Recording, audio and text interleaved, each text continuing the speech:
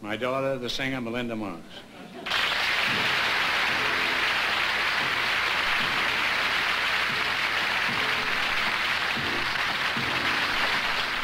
If you are lost,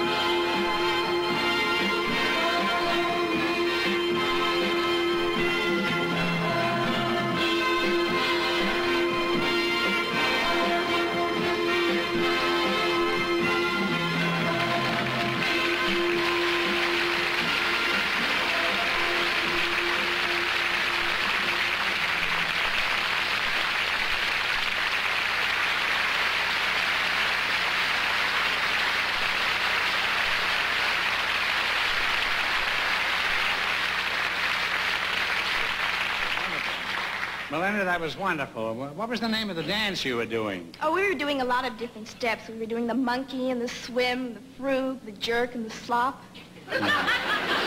is, is there anything personal in that?